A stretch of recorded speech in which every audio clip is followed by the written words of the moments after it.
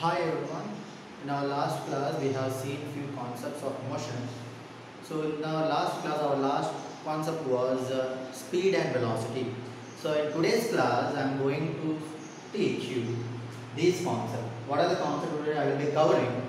Is average speed and velocity, acceleration, uniform motion. What is the uniform motion? What is the non-uniform motion, and some example problems. Okay. So in our last class what we have seen that what is meant by velocity, speed and velocity. Speed is nothing but how fast the object is moving in an interval of time. That's what we have seen. Speed is nothing but how fast the object is moving in a given interval of time is called as speed. And what is meant by velocity then? Velocity is nothing but speed of an object in particular direction. That's what we have learned now in our uh, before class. Okay, before session.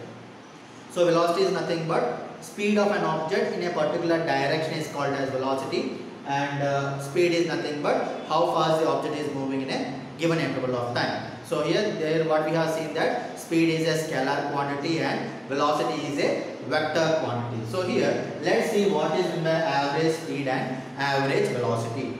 Okay.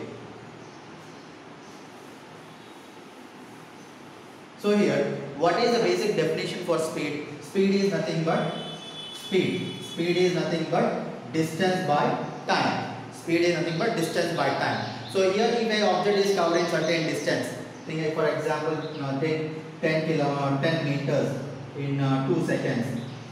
So what is the speed of the object? Distance is 10 meters, time is 2 seconds, 10 by 2 is what is that 5 meter per second. That is for one distance covering. Okay. If they have given certain distance means what if they have given 20 meters in 4 seconds 25 meters in uh, 6 seconds.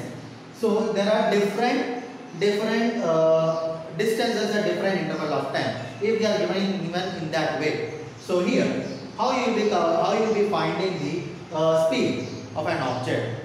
You have, you have you have got different distances in different interval of time. So at that condition we will be using average speed. So what is meant by average speed? Average speed average speed is equal to total distance. Average speed is nothing but total distance by total time.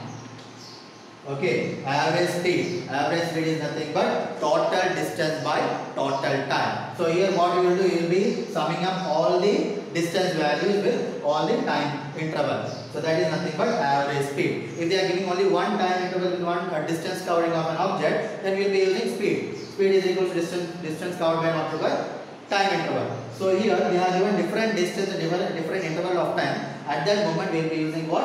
Average speed. At the same time so uh, average average speed formula is what? Total distance by total time. At the same time what is the definition for average velocity then? Average velocity is nothing but what? Average velocity is nothing but total displacement total displacement by total time. Understood the difference between average speed and average velocity. Average speed is nothing but total distance by total time. Uh, average velocity is nothing but total displacement by total time. Understood what is the average speed and average velocity? Okay.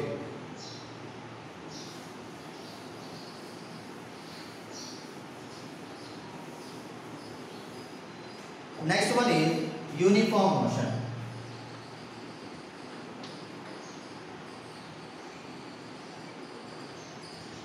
Now, what is meant by uniform motion?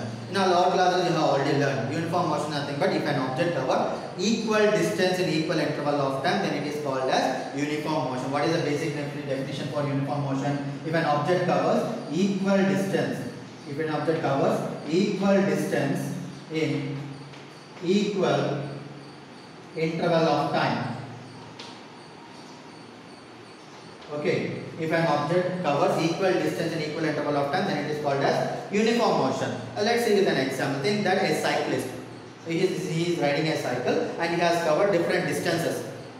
Let's see the data what he has covered. Think that uh, distance, you already know that distance is usually measured in meters and time, time is measured in seconds. Uh, let's say at 0 seconds, what is the distance covered? It will be 0 only. think that for 10 meters it has covered 2 seconds. Okay, then 20 meters it has covered 4 seconds. For 30 meters it has covered 6 seconds. For 40 meters it has covered, uh, think that, what is that? 8 seconds. So these are the data they have given. So through this data we can plot a graph. When we are plotting a gra graph on x-axis what do you write? Time. And y-axis will be taking distance. When we plot this data in the form of a graph, what you will get? You will get a straight graph. Yes, to take uh, what is that? 2, 4, 6, 8, they are what? 10, 20, 30, 40. So when you uh, when you plot these values, you will get a straight line graph. So straight line graph tells about what? Straight line graph tells about that the instantaneous speed. The here, of this part, the instantaneous speed will be equal to what? Will be equal to average speed. Understood? If it is straight line graph, we can say that it is covering equal distance in equal interval of time. That is the reason we have got a straight line graph. This is what we can say that instantaneous speed will be equal to average speed. Understood? If the object is moving, if the cyclist is covering in a straight path, a particular direction. If an object is moving in a particular direction, then we can say what? We can say that velocity is constant.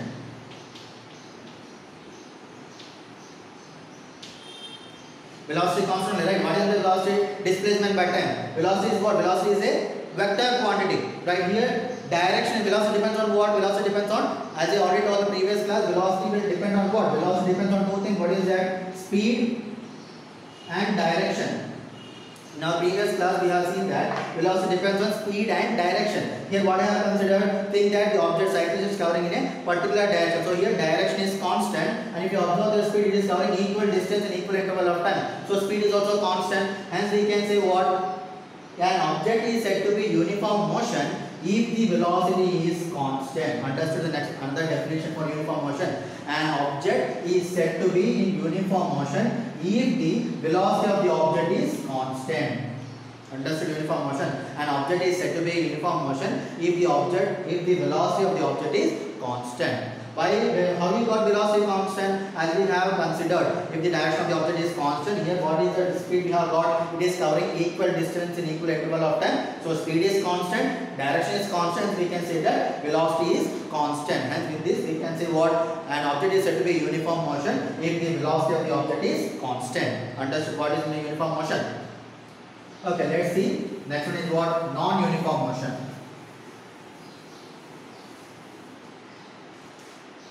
Non-uniform motion.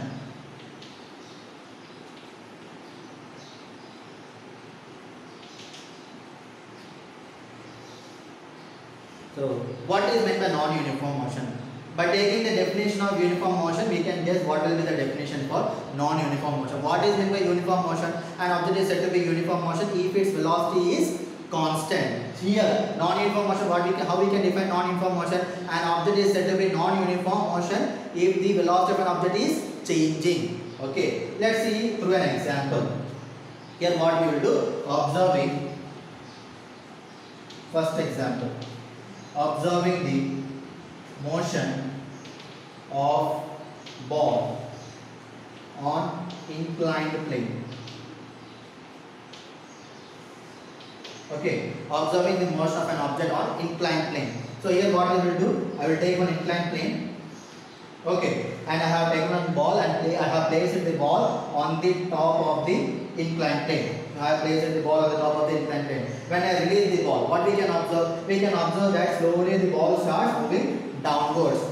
So the the moment the ball starts moving downward, what we can observe that the speed gradually increases, right? Moving from an upward uh, a top position. So when it moves down, slowly the speed goes on increases. So here what we can observe, speed is increasing is what? Speed is changing.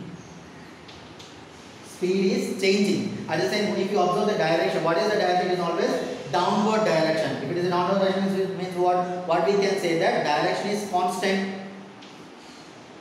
direction is constant.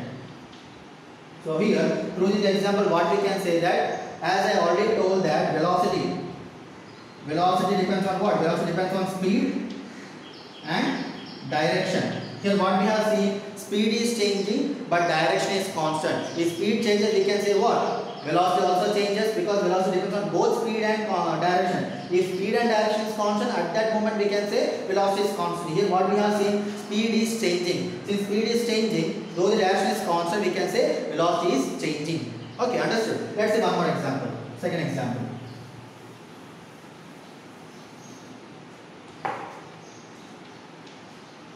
Observing the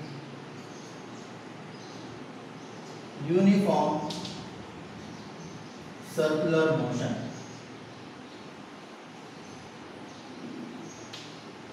Observing the uniform circular motion. So here what we will do, I will take one stone. Okay, I will take one string. I will attach one end of the string to a stone and with the other end of the string I will start drilling the stone, rotating the stone. So when you uh, when you rotate the stone, so think that this is the stone. What I am doing, I, am, uh, I, I have started rotating this stone. I have started drilling this stone. So here, think that, assume that I am rotating with a constant speed. At a constant speed, I am drilling the stone. So speed is constant.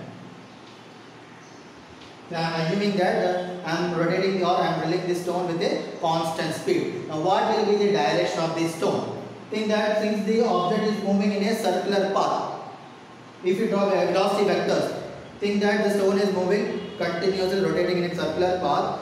And we think that when the stone is moving uh, coming to this position I have released the thread. In which direction the stone will move? The stone is continuously rolling around it. The moment when it reaches here I have released the thread. So when you release it what will happen? The stone will move in that direction right? So here what we can say that the stone will move in that direction. Then then again I am rotating I am rolling the stone. And now what I will do when the stone reaches here it reaches here I have released the thread when I have released the thread what will happen the stone will move in that direction. Understood? So here what we can observe that this direction is changing at every instant of time. Think that when the stone came here, stone is moving around, it's uh, rolling around.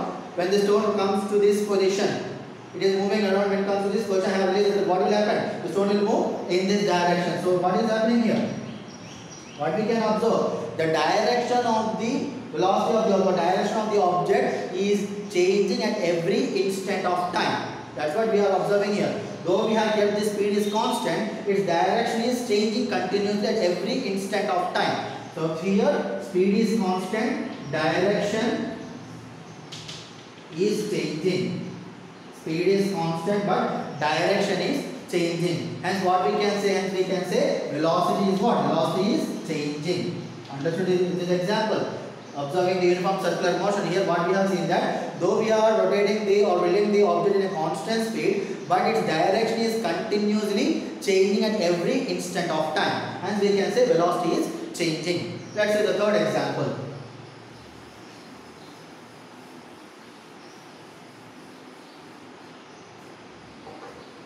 What is the third example? Observing the motion of object when thrown into air. Okay, observing the motion of object when the object is thrown into the air. Now think that I have got one object, a ball or a stone. Now what I have done, I have thrown the ball into the atmosphere with some angle to the horizontal. Okay, with some angle I have thrown the ball into the air. Okay. So when I, when I thrown the ball into the air, what will be the speed of the object? We can observe that the moment when you throw the ball into the air, the speed goes on what? Gradually decreases. As the height is increasing, the speed of the ball or the speed of the stone goes on decreases. When it reaches a particular height, think that it, when it reaches a particular height, what will happen? The speed will become zero. From that moment, what we can observe that the object of the ball moves downwards. When it is moving down, what we can observe the speed gradually increases. So here what we are observing that when you are throwing the ball into the air, the speed is, speed is decreasing. Once it, once it reaches a certain height, from that height onwards, it moves downwards. There the speed gradually increases. So what we can say that speed is changing speed is changing speed is changing what about the direction when you are throwing the ball into the atmosphere its direction is what upward direction once it reaches a certain height from that moment what will happen direction of it is what downward direction so here direction also changing direction also changing so here as I said velocity depends on what both speed and direction here speed is changing direction is changing what we can say velocity also changing. So from these all these three examples what we have seen that from the first case from the first example what we have seen though the speed is though the uh, direction is constant speed is changing. Direction is constant plane there the direction is constant speed is changing. Through the second example what we have seen speed is constant direction is changing third example what we have seen speed is changing at the same time direction is changing. From all these three conditions what we can say that if the speed is changing direction is constant if the direction is changing speed is constant if both speed and direction is changing we can say that velocity is changing. And what we can say what will be the definition for non-uniform motion? Uniform motion means what? An object is said to be uniform motion if its velocity is constant. Here what we have seen an object is said to be in motion if its velocity is changing then it is called as non-uniform motion. Understood? So here what is meant by non-uniform motion? An object is said to be non-uniform motion if its velocity if its velocity is changing. If its velocity is changing. An object is said to be non-uniform motion if its velocity is changing. Understood? Then it is called as non-uniform motion. Okay let's see the next concept acceleration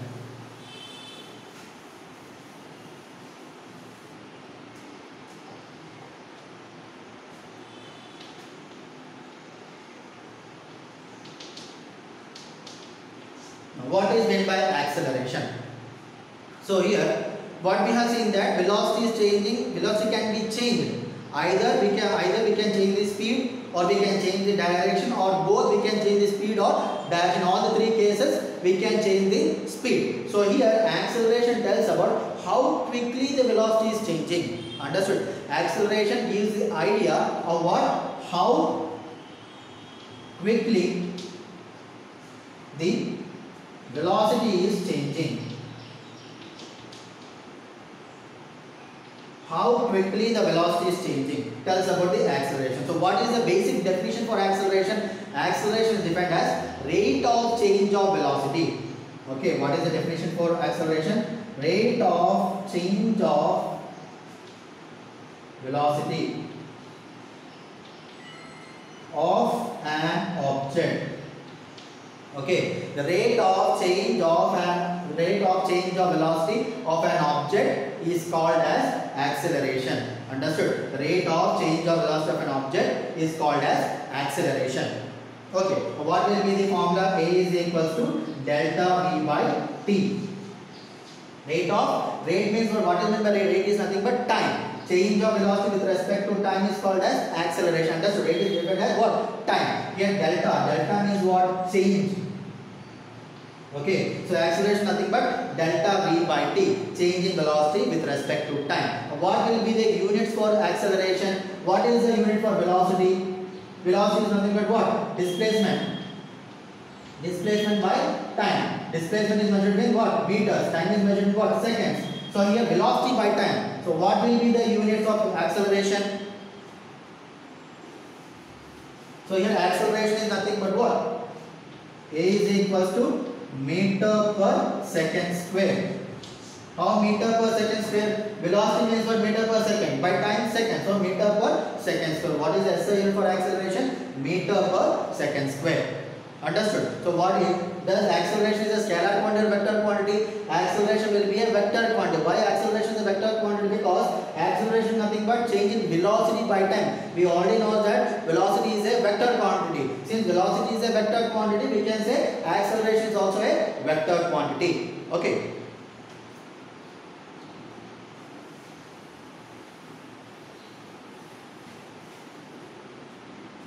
Now one more thing, if an object is moving in a curved path, if an object is moving in a curved path, then what will be the direction of velocity? Direction of velocity can be determined when you draw a tangent.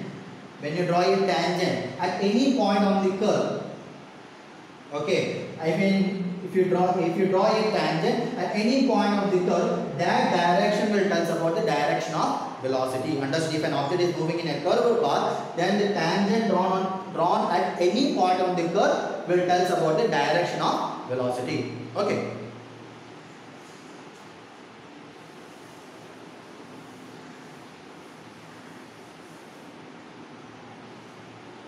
Let's see one example here. What is that example? A street lamp. Okay, there was a street lamp of height h. Think that there is a street lamp of height h. A man was standing at a certain distance from the street lamp. Think that height of a man is small h. Now what will happen? Due to the light of the street lamp, what happens? The shadow of the man falls on the ground. He is standing in front of the street lamp. So due to the street light, what will happen? The shadow of the man will fall on the ground. Think that shadow of the man's head is falling here. And the distance between distance between the street lamp and the man is smallest. Now what happened? The man started running towards the street lamp. Man started running towards the street lamp. What is the question they have asked? What is the velocity of the shadow of the man's head? They have determined. They have asked to determine. Understood? What they have asked? What will be the velocity of the shadow of the man's head? Understood? So here man is there, standing in front of the, uh, standing at a distance in front of the street lamp. Man started running towards the street lamp. What is the question they have asked? What will be the velocity of the shadow of the man's head? Shadow of the man's head. Understood the question? So here what I will do? I will extend this line.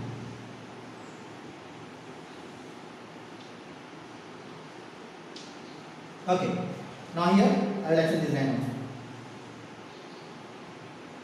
So this is our height of man. This is our height of the street lamp. So what I will do? So whatever the height of this one, this will be also same height. What will be the height of this part? This part. It is capital H. This part is small h. What will be the height of this part? This part will be small h, capital H minus small h. So I will represent this point as A, this as B, and this as C. This is O and this is D. So it looks like a triangle. So here what I will I will take two similar triangles. What are the two similar triangles I will take? First one is triangle ABD. Okay, triangle ABD. And one more triangle is what? Triangle ACO. Two similar triangles. What are the triangles? Triangle ABD. Triangle ABD is similar to triangle ACO. ACO. Okay, triangle ABD is similar to triangle ACO. Which is what I will write. I will take from this triangle ABD. I will take DB part and AD part. So DB by AD. Okay.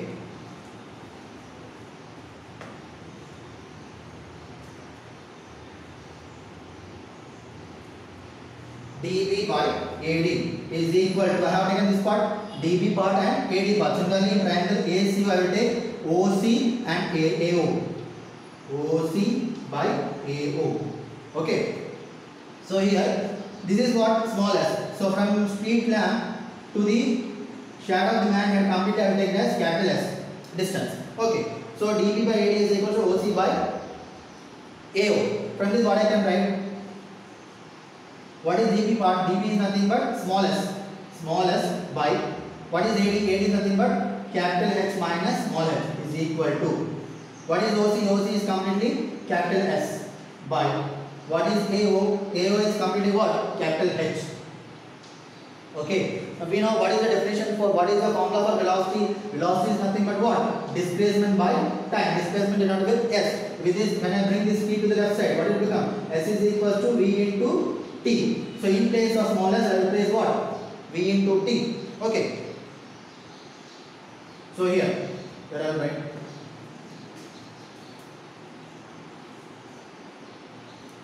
So I write this part. Okay. So S by capital H minus small h is equal to S by H. In place of small s, I will write what? V into T. So V into T by capital H minus small h is equal to capital S by capital H.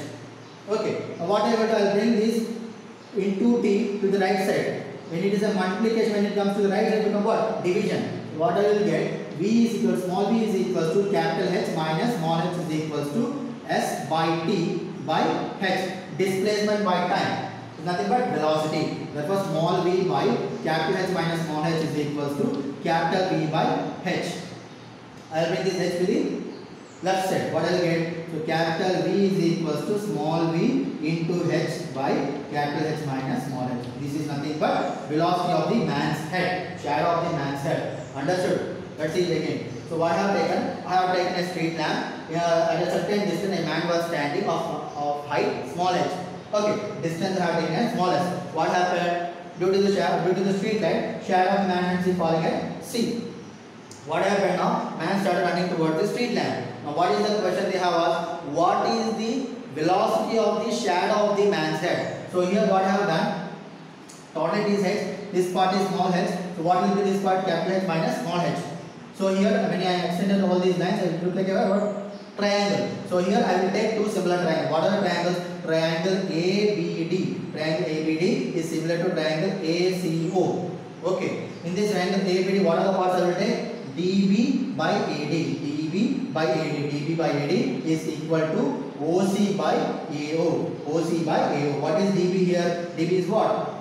Is smallest. Smallest. Smallest.